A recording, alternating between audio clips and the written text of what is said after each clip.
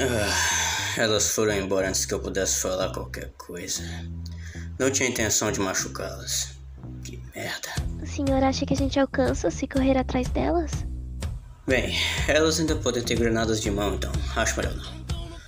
Agora que elas sabem que eu tô vivo, temos que ficar atentos.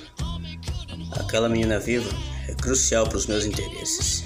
O que o senhor quer dizer com objetivo? Isso aí já não é da sua conta, senhorinha.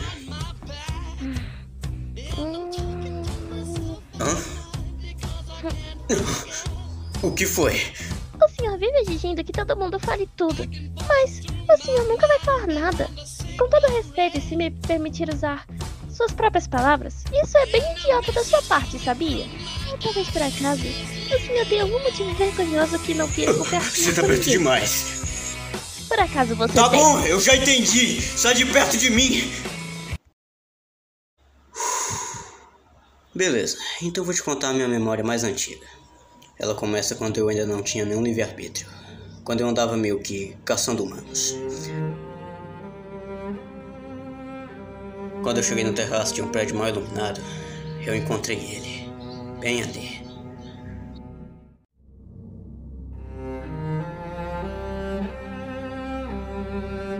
Naquela época eu ainda não tinha rachadura. Não tinha escolha se não seguir as ordens da máscara.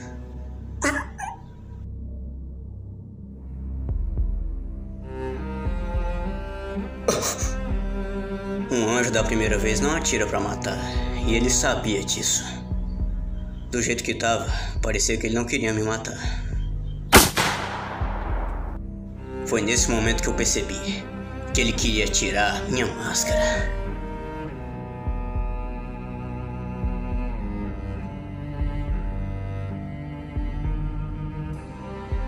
Aquele garoto olhou pra mim com lágrimas nos olhos.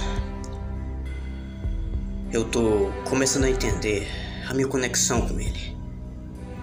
Provavelmente ele foi um amigo muito próximo meu.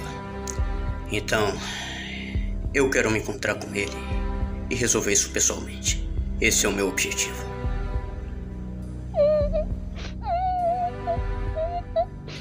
Hã? Por que, que você tá chorando? Me desculpa, senhor, mas quando eu penso em como aquele seu amigo se sentiu quando viu o com aquela máscara, deve ter sido muito dolorido pra ele. É verdade. Eu me pergunto, por que será que eu coloquei essa máscara?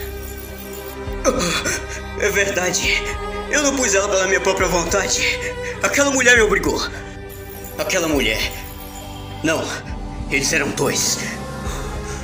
Eles tinham me derrotado e eu só esperava para ser morto por eles.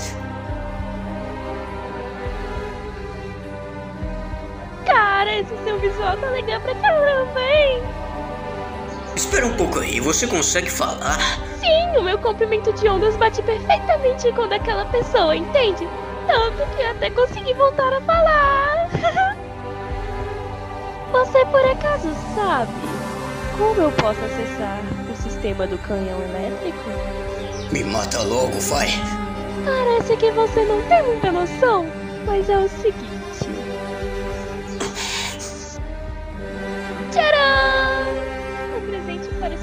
Jeito estiloso e junto com ele, esse rifle maravilhoso. Eu sabia que você ia se tornar um bom mascarado. Eu prefiro morrer do que ser só uma marionete. Pode me matar, agora! Os anjos se divertem muito mais.